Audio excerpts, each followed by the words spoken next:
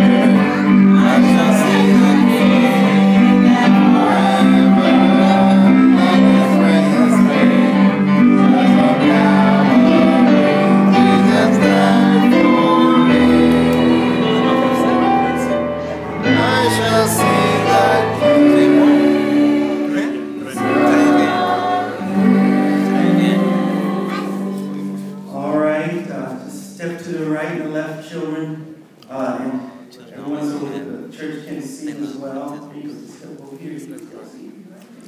Very good. Uh, any other uh, family, friends, supporters? I'm looking. I'm looking for um, your circle of support. Um, those members who will um, become your spiritual sisters. We love you. I, I, I see some smiling faces of Bible workers. I'm hoping that we have more support.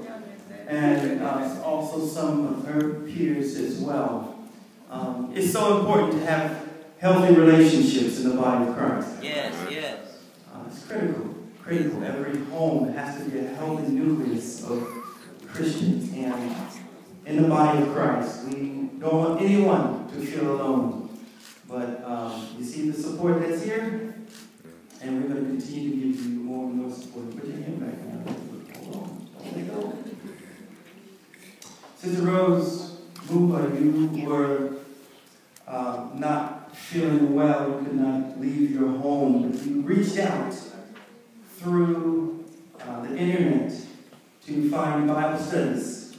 They are amazing facts. And you did not need a Bible worker to come to you, uh, walk you through the lessons. You walked through each lesson with Jesus. Uh, you read your way into the truth by reading the Word of God. Very commendable. Uh, even though there were some glitches and it took them a long time to send your certificate, you didn't complain about that. You just did the whole other series over again. Mm, mercy. That says a lot about your character and your determination. And then even after you and I talked on the phone over a year ago, you could not leave the house. It was just your desire, the Lord give you enough strength just to get out of the house to be here today. And God has answered your prayers. And you are here today as, as, as direct answer to those prayers. And I believe the Lord will continue to give you strength and give you grace to fulfill the work that He's called you to do. And now, dear Sister Rose Muma, because of your faith, because of your search, you searched. Uh, the Bible says Jesus himself says, seek and you will find. Knock and the door will be open. Ask and it shall be given. You ask God for eternal life and He Himself has given it to you.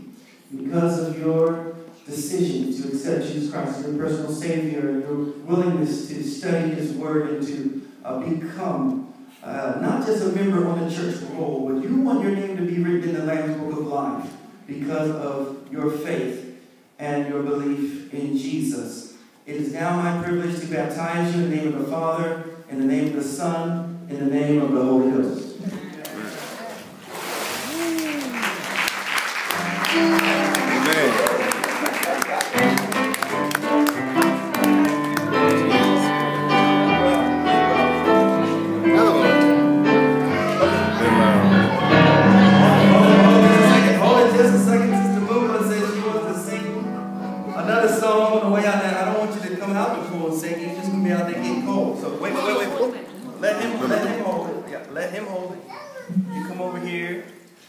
And, uh, yeah, we can put that over the top part.